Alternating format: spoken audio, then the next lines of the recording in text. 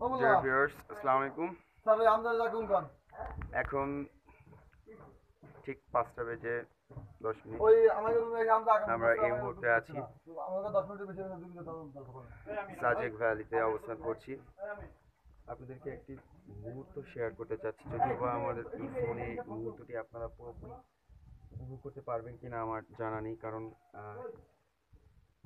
এখন আমরা যে পাহাড়ে আছি তো আমাদের কাছে মনে হচ্ছে আমরা এখন সমুদ্রের পাড়ে দাঁড়িয়ে আছি যত মেঘের কারণে।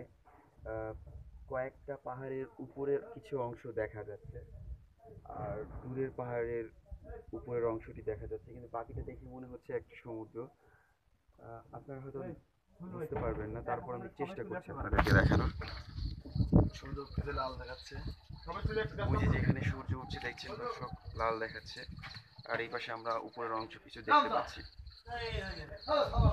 তো দর্শক সকলে আমাদেরকে দোয়া করবেন আমরা যেন এই অসাধারণ উপলব্ধ যে পরিবেশটি আমরা যেন খুব সুন্দরভাবে উপভোগ করতে পারি এবং আমাদেরকে দোয়া করবেন। ধন্যবাদ সকলকে দর্শক ভালো থাকবেন।